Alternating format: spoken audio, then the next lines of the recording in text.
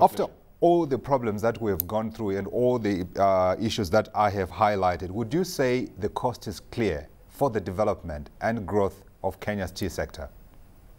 Yeah, well, you mentioned the, the, the political unrest uh, in North Africa, especially in Egypt. And uh, you need to be aware that Egypt exports, uh, imports 20% of Kenya's tea. In fact, it's, it is the largest importer of Kenyan tea. Uh, but we need to put this in context and mention that uh, we have five major markets, five major importers of tea, five countries that import our tea out of 48, and those five import approximately 73% of our tea. Egypt being the largest, of course, any problem there affected us tremendously. But the beauty of it all is that out of the other 40 or so other importers, we experienced a growth in imports, and therefore have an opportunity actually to start diversifying to some of those other importers. So I would say that the, uh, um, the fact that we rely so much on a, a market like Egypt has been a risk, but we've realized that risk and we now are moving towards diversifying our exports. Uh, the issue of drought, of course, uh, this is, uh, there's very little that we can do about this, but it has affected us very much. And um, the coast is not clear insofar as the elements are concerned mm. because we cannot control the weather. Uh, and these are gonna, we're gonna experience this towards the future when uh, in different years, and we, we cannot predict that. Yeah, you raise an important point in terms of diversifying uh, uh, Kenya's export markets because, of course, of the Egypt factor. But how yeah. possible is it that you'd be able to hold on to the gains and uh, the, the, the, the, larger number of buyers that we were able to get into during the Egyptian crisis? Yeah, well, what we are seeing is that a, a number of the, the, the, exporting countries, a number of the smaller uh, um, countries that have been uh, importing our tea, uh, and you can name even countries like China, they, we have experienced growth in these markets. And we know that growth is really a, a drop in the ocean because the potential of some of those markets is very great. So we have seen the possibilities and we now simply have to to market increasingly to some of those markets who, who need to get to know us a little bit better and the possibilities of getting very good tea from us. Uh, so I, I, still think that um, there, is, there is a good demand for, for Kenyan tea, it is a good quality tea, and there is good potential in the non-traditional markets. Hmm. And I would dare say some of those non-traditional markets should include other African countries because many a time I've walked through the aisles of uh, South African supermarkets and I struggle to find right. the Ketepa, uh, the Kenyan tea. But be that as it may, let's talk about the shilling. Now, we have seen the shilling coming under pressure against the US dollar and we know, of course, that is good for, for, for, for the export sector. but uh, what kind of an impact has the volatility had on uh, production and also just being able to satisfy your customers' okay. needs? Okay. In fact, the volatility has been positive for us. Uh, as an exporting country, we export uh, the commodity and we earn dollars. Mm. So for a company like ours, for example, it's been, it's been profitable. So vo volatility when the Kenya shilling weakens is good for us. But as you know, of course, a number of our inputs are imported, that is uh, the, the, the petroleum, petroleum products and the fertilizers. So this has also got a, a cost implication. Uh, but fortunately, because the volumes that we're expecting are much larger than our inputs, then we are having a positive impact on our profitability. Mm. Um, so this has been fair for us. But again, moving to the future, if the Kenyan shilling strengthens, we are definitely going to find a reversal of our, of our, of our fortunes.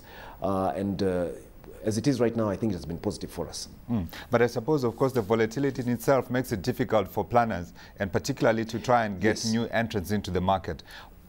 Are exactly. you of the camp that mm. believes that perhaps something ought to be done in terms of just ensuring that uh, volatility is limited? Yeah, if volatility can be managed, uh, as you say, when there's too much volatility, uh, then investors will hold back. Uh, and those, those who would like to come in and invest in the country will find that they cannot plan uh, their, their, their, their investments properly. Uh, and, and I'm of the view if, if, if uh, it can be managed, actually, it, it would be a good thing. Because the main problem that we have as, as a net importer of, of petroleum products, uh, this has got an inflationary impact throughout the country. And so when we have this kind of uh, weakening of the shilling, uh, it has a huge impact in terms of the inflation pressure that we face in the country. And this inflation pressure, of course, naturally impacts on us as business because we then have pressure to increase uh, the, the, the, wages, etc., etc. Sure. Uh, we have the May Day coming up and we've had the unions talking about a possible 60% uh, increase request uh, for the minimum wages. And this, this is something that's going to affect all of us as business. So somehow when the volatility is too much and it's too drastic, it uh, definitely impacts on us negatively. Do you think the government should be doing something, or the central bank at least? Uh, perhaps, perhaps they should be considering, but you know, given that we're a free market economy, uh, I think we should we should leave the, the, the, free market as, as best as possible to manage itself. But where, for example, right now there is such huge pressure on on uh, oil prices, a lot of uh, uh, consumers in our country, a lot of people use kerosene, for example, for their basic cooking, and when this becomes too expensive, it becomes impossible to manage. Mm. Uh, the cost of transport has risen tremendously because of the oil, oil, oil prices. Sure. So the government is actually intervening and reducing the taxes. So the government is actually playing a role to try and stabilize, especially for the majority of people who are on the low income brackets. Yeah, let's talk so about is, a topic. a positive thing. Let's talk about a topic that's been seizing everybody: investors, uh, business people, uh, government officials. Yeah. It's uh, Africa's uh, uh, the growth of Africa's uh, consumer sector. Now, yes. I picked up a story today uh, from uh, uh, Mark Mobius, uh, CEO of uh, Templeton Asset Management. He is one of the biggest yes. emerging market uh, investors. And he was talking about right. Africa's growth prospects and the fact that Africa is seen to be the market of the future with close to a billion people coming up. Now, in terms of yes. tapping into that market, while foreigners talk about it, we of course we're in it. Can yes. the tea sector make more of the growth that's seen to be coming yes. uh, in terms of expanding Africa's uh, as, as, as uh, yes. Emerging market? Yes. Africa as an emerging market, of course, means that there are increasing number of people who have uh, disposable income and they're able to consume goods and services which we produce. Now, we produce a, a very basic commodity called tea, and this commodity can, however, be varied in certain ways. It can become a flavored tea, it can become an iced tea. There are certain variations.